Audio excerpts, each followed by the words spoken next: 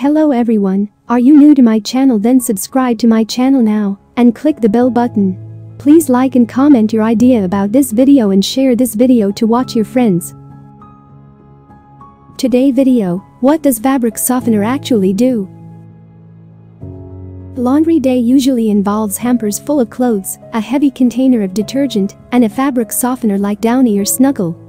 While some people consider the latter indispensable, others think that fabric softener makes little difference in the final laundry result, and that the Snuggle Bear is nothing more than a furry propagandist. So what does fabric softener actually do? Fabric softener is intended to keep your laundry soft to the touch, reduce wrinkles, and add a clean scent as an olfactory signal you're no longer dealing with a smelly pile of socks. Fabric softener can also reduce static cling by reducing friction between fibers, which can make clothes last longer.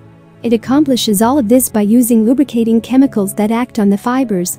Early softeners used oil, while modern-day brands have synthetic chemicals like polydimethylsiloxane or other silicone derivatives.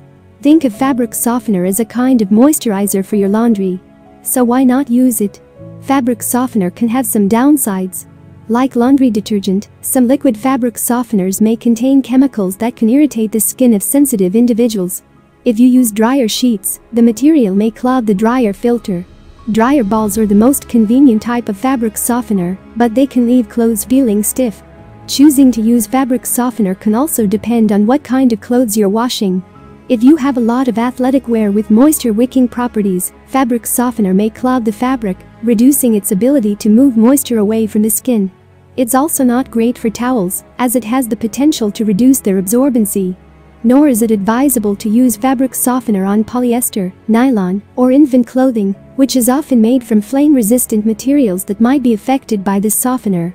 If you're on the fence about whether or not you should be using a fabric softener at all, try washing a small load of laundry with a fabric softener and one without to see if you notice or feel any difference. If not, you can probably get by without the additive.